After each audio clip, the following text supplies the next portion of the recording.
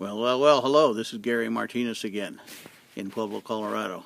Listen, you are looking at a Broncos mailbox.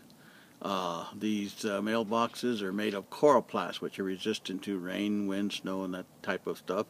Uh, and the purpose of the, making these and selling them, selling them for $45, uh, is to raise funds to build uh, teepees for the homeless here in Pueblo.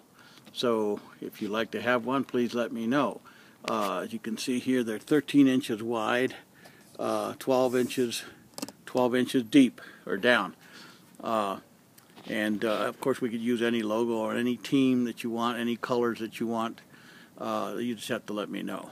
But anyway, looking forward to hearing from you. My name is Gary Martinez at, at hotmail.com. It's Gary Martinez at hotmail.com. Or